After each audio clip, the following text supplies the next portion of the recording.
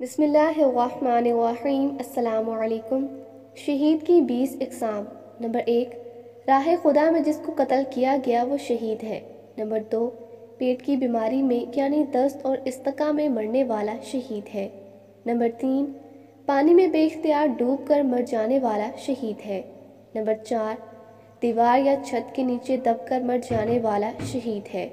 Number पाँच ताउन की बीमारी में मरने वाला शहीद है।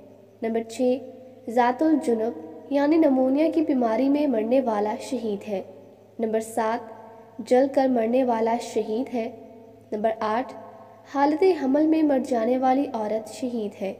नंबर दस, जो औरत हामला होने के बाद से बच्चे की पैदाइश तक या बच्चे का दूध छुड़ाने तक मर जाए, वो शहीद है। नंबर बारह, सल यानी दक की बीमारी में मरने वाला शहीद है। नंबर तेरह हालत सफ़र में मरने वाला शहीद है। नंबर चौदह, सफ़र जहाद में सवारी से गिर कर मर जाने वाला शहीद है। नंबर पंद्रह मुराबित यानी इस्लामी ममलिकत की सरहदों की हिफाजत के दौरान मर जाने वाला शहीद है। नंबर सोलह, गढ़े में गिर कर मर जाने वाला शहीद है। नंबर सत्रह, दरिंदों यानी शेर वगैरह का लुकमा बन जाने वाला शहीद है। नंबर अठारह, अपने माल, अपने अहलो अयाल अपने दीन, अपने खून और हक की खातिर कत्ल किया जाने वाला शहीद है। नंबर उन्नीस, दौरान जहाद अपनी मौत मर जाने वाला शहीद है।